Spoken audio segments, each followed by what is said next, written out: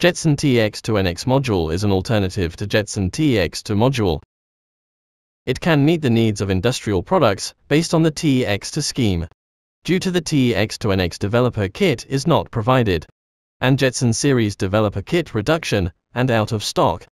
Yahboom provide TX2NX developer kit based on TX2NX module.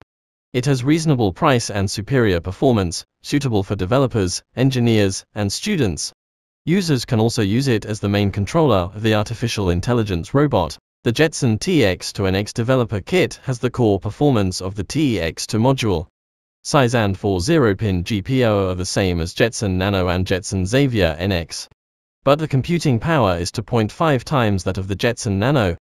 The appearance is exactly the same as the Xavier NX, which is similar in size and interface.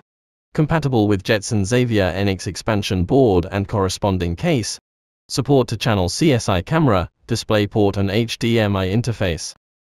On board for channel USB 3.0 and network port interface. Can connect M. to network card.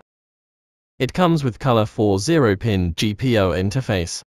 Performance falls between Jetson Nano and Jetson Xavier NX. It can replace Jetson Nano and Jetson Xavier NX developer kit in terms of function and size. Comes with 16GB eMMC memory, which can quickly start the board without a TF card.